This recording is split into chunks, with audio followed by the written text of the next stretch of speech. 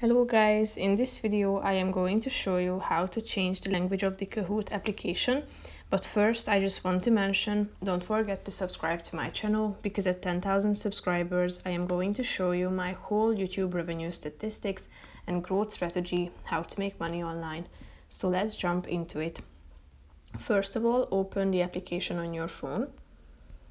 Now you should tap on the uh, home icon down below which is the last up which is the first option and then click on the profile icon in the upper left corner of the screen. Click on the settings option at the top of the screen in the uh, right side corner.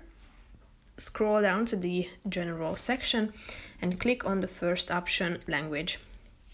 As you can see the default uh, language is uh, is English but if you scroll down, uh, you're going to see that there's a bunch of other options that you can choose from.